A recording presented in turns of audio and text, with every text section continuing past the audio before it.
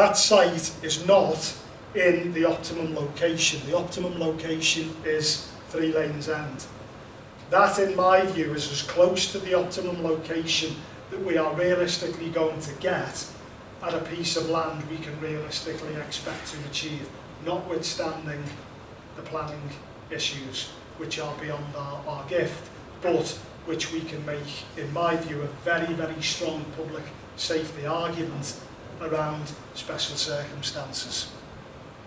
And just to conclude, that's where Hoy Lake is. Okay, so you appreciate from there to Hoy Lake, that's a longer run time than from Sorgo Massey Road, because there are other options in this the road network that allows you to get up to what is the uh, what is still part of the West Kirby station area. Ironically, it's going to take us longer to get to Greasby from Saughall Massie than it will do from Upton. That's just that's just one of those things. I'll pause at that point so you can uh, consider that for your, yourselves, but that is a reality. I can share,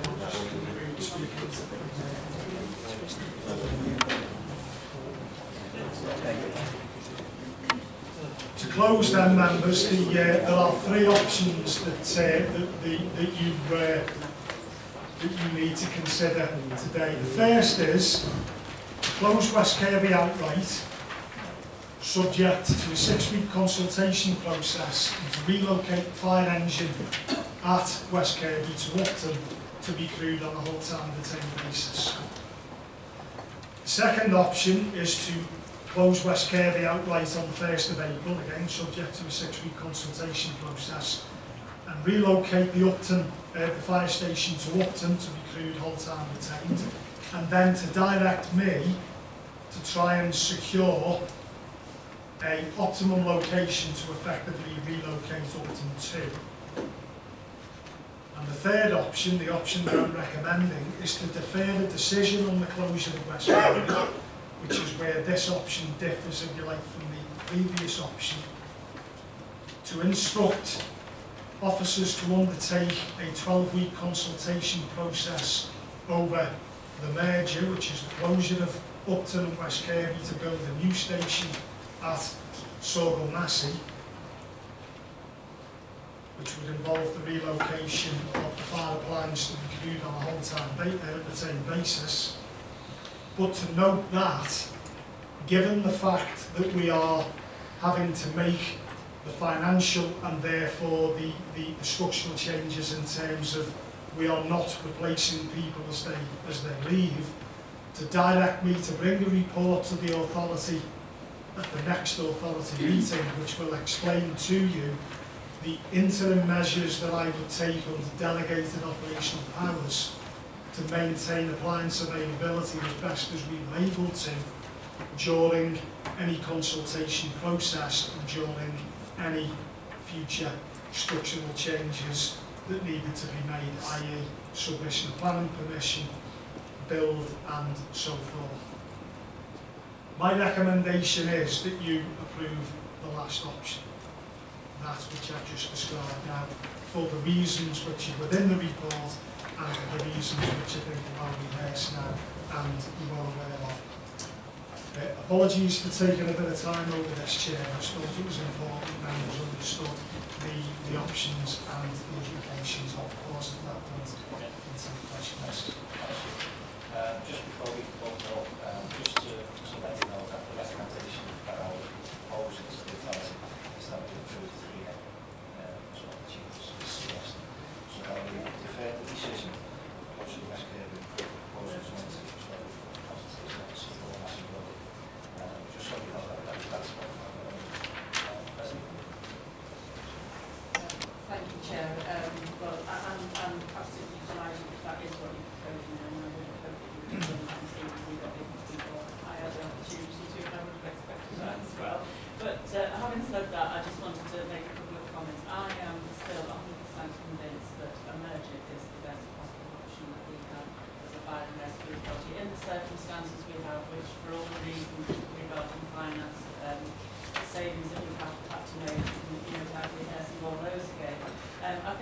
extremely fortunate to be able to have the opportunity um, to at least pursue this other option on on Western side. I know that it's not going to be popular with uh, particularly some of my colleagues in Wirral, um, but I think here as a fire authority, um, what I have to do um, as well in my mind is to say we have a green belt land here. Um, on the other hand, we have the safety of 26,000 people in the wider uh, um, West Kirby, Meols area, um, which we can offer them the added safety. I know it's um, uh, still a reduction in the response times, but at least the fire plants would be able to get to them um, if we went along this option at two minutes. Um, and two minutes is an awful long time if then your life or, or your family or you're in a road traffic accident and, and in fear of, of life or death. So I think, you know, we have to be pragmatic about this and I'm sure we're going to be, Mr. Cleary, the, the chair suggested, the best possible option for the state today is to, to weigh up what we have as a state to repeat itself. On one hand, we have a small piece of green belt land. Um, yes, it is designated green belt land. It, it's not um, a lush patch, by, by any means. It, it's a of scrappy land, but nevertheless, it's green belt land and, and that will cause some opposition um, in Wirral, I'm sure, amongst uh, colleagues, excuse me, and, and members of the public. But weighing that up against the, as I say, the additional safety for that wider area, area of West Wirral, I, I don't really think that there's any, um, there's any choice in that, and I think it's the best possible option.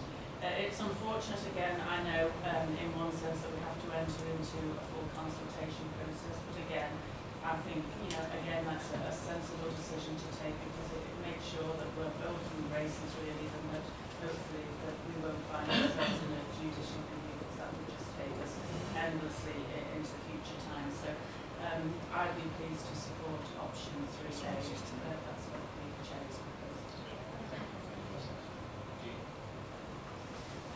I I would definitely agree with the chief's recommendation and uh, would concur with the council But I would suggest also that we might have a word with the colleagues in that road. There's an opportunity for them here to show some political leadership of the community to help them, um, I hate to say, get their priorities right for humanity. So to weigh up humanity against the piece of green uh, land is, is really not an option, it? Um, it should be easy for people to make the right decision in that way. And I would suggest that uh, there is an opportunity for politicians in Wirral to get their priorities right here sake of the residents that they? Sorry.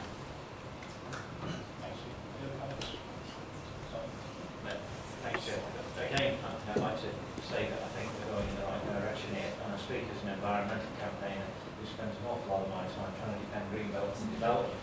Uh, I've been doing that for weeks on end recently, not necessarily very successfully either. But that, that, that's a different story. What I'm concerned about here is though that I think I'm hearing a special circumstance, and life and limb clearly is a special circumstance.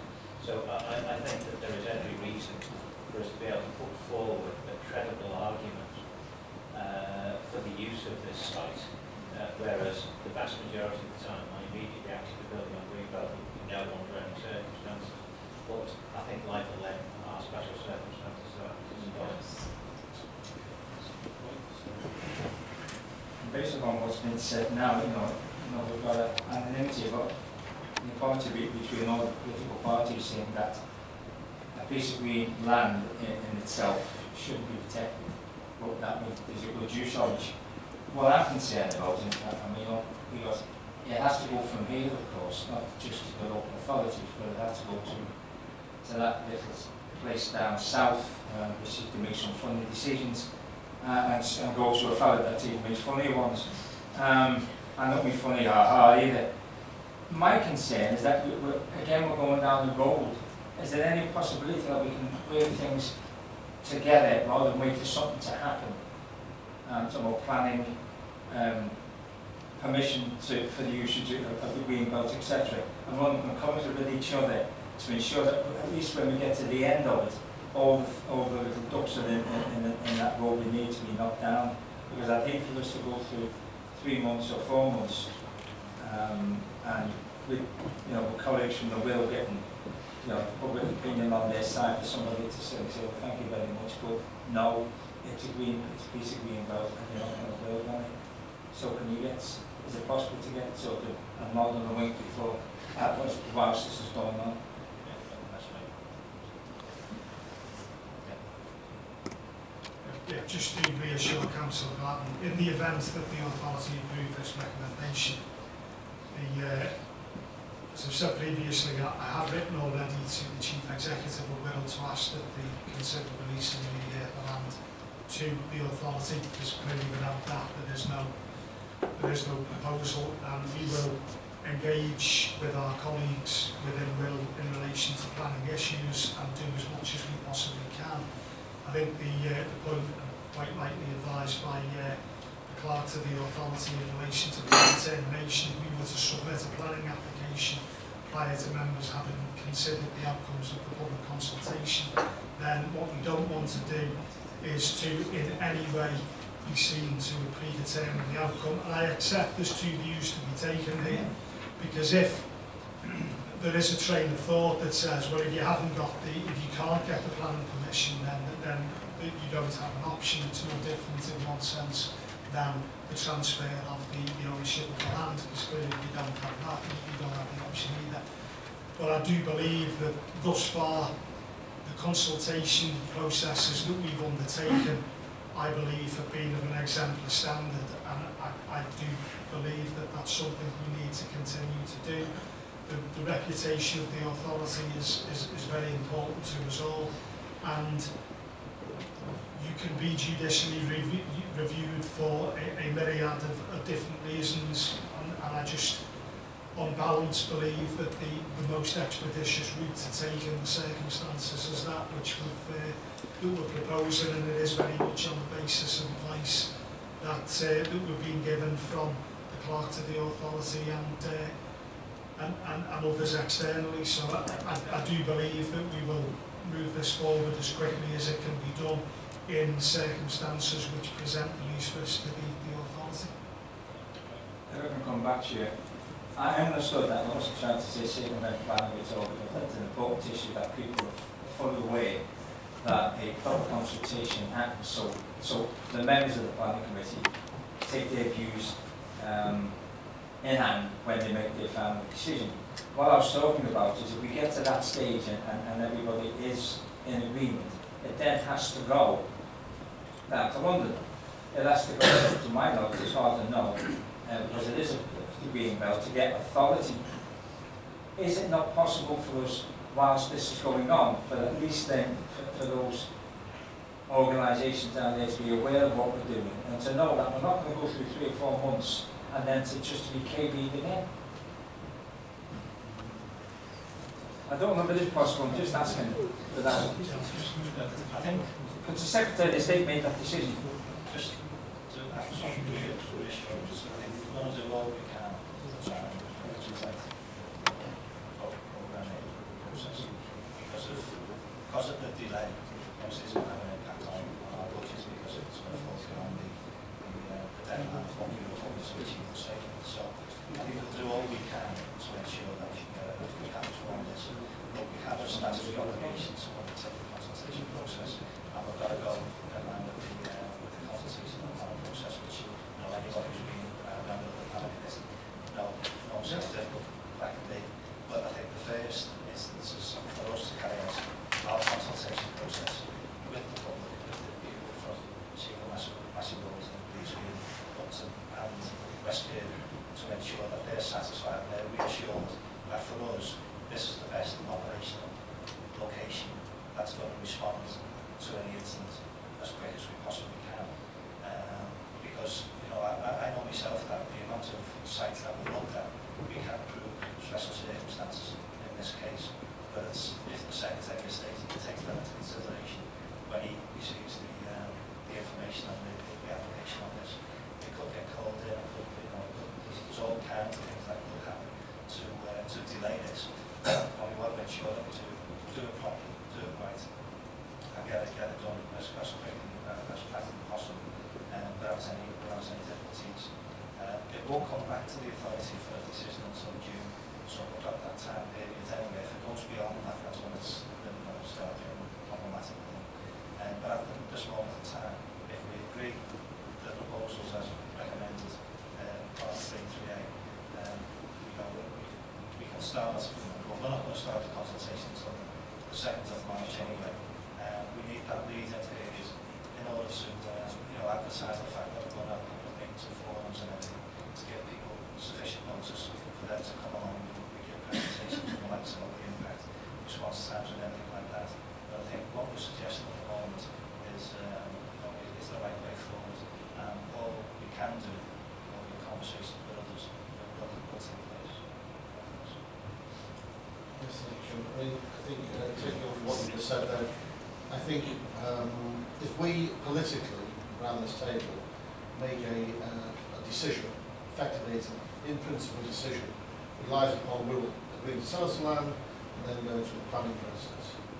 You can be assured that our officers will do what is right and what is proper without leading to a suggestion of predetermination in the background um, dealing with Wirral and I don't know what you can do with DCLG. They'll be going into purdah before long and then they'll be going into, interregnum between governments. That, that actually, it depends on whether they even want to call it in. We don't know that. So um, all we can do is we have to make the savings, we have to make the proper decisions from an operational point of view. That's what we're doing today. Then we'll leave our officers to pursue um, all avenues without leading us into a predetermination. Maybe we need to get cracking now, don't we? That's the other way of putting it. We'll film out the hours. Right? Councillor, I'd just like to move there, progress on this, I think uh, she was more or less outlined exactly what's needed, it's been supported uh, unanimous by the CEO, but there's some people speaking that way to move forward, so moving forward. Thank you. Okay, I'll be happy with that. Can I approve the Yes.